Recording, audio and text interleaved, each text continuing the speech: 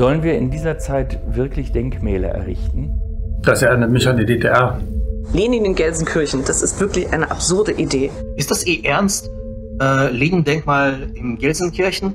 Ich bin in der Ukraine aufgewachsen, wo Lenin eine Art Gespenst meiner Kindheit wurde. Und ich war so froh und erleichtert, als vor ein paar Jahren alle Lenin-Denkmale demontiert wurden. Denn er ist ein Symbol und der steht für alles, also nicht alles, aber vieles, was im 20. Jahrhundert schiefgelaufen ist.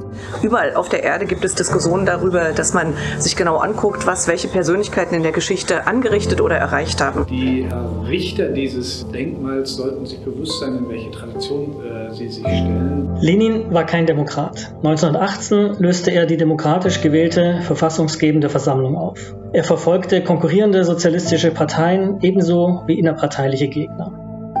Lenin als einen der Begründer des Roten Terrors und der sowjetischen Lage heute mit einem Denkmal zu verherrlichen, zeugt nicht nur von historischer Dummheit, sondern ist auch eine Verhöhnung der Millionen Opfer des kommunistischen Systems. Alle blutigsten Diktaturen des 20. Jahrhunderts haben den erfolgreichen Massenmörder Wladimir Lenin als ein inspirierendes Vorbild wahrgenommen.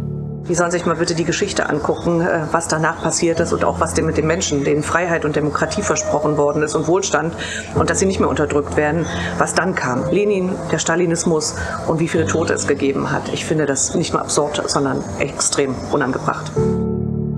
Lenin, das erinnert mich an die Unterdrückung von Menschenrechten, an tausende politische Gefangene, an hunderte Menschen, die an der innerdeutschen Grenze erschossen wurden. Lenin steht für eine menschenverachtende Politik. Er hat seine Gegner skrupellos aus dem Weg räumen lassen und ganze Schichten der Bevölkerung, die Bauern, äh, ihrer Existenz beraubt und so in den sicheren Tod getrieben. Das erinnert mich an einen Unrechtsstaat im Namen einer Ideologie. Ein Demokrat kann sich nicht auf Lenin berufen. Daher finde ich, Lenin gehört auf den Recyclinghof der Geschichte. Kein Platz für Lenin, nicht bei uns in Deutschland. Obwohl es völlig geschmacklos und unangemessen ist, in Deutschland heute eine Lenin-Statue zu errichten, so steckt auch im Schlechten immer etwas Gutes. Denn so werden zumindest die Menschen in Gelsenkirchen in nächster Zeit wohl mehr Aufmerksamkeit für die Geschichte des Kommunismus und seiner Verbrechen haben, aber auch für die Geschichte Lenins. Und das ist ja immerhin etwas. Ich glaube ganz ehrlich, dass der Personenkult hier an dieser Stelle zu vernachlässigen wäre und wir eher Räume benötigen, in denen wir uns an Ereignisse der letzten Jahrhunderte erinnern, die uns als Gesellschaft weiterbringen, die uns zu einer empathischen Gesellschaft entwickeln können oder aus denen wir schlicht und ergreifend lernen. Die Kunst ist frei und eine Zensur findet nicht statt.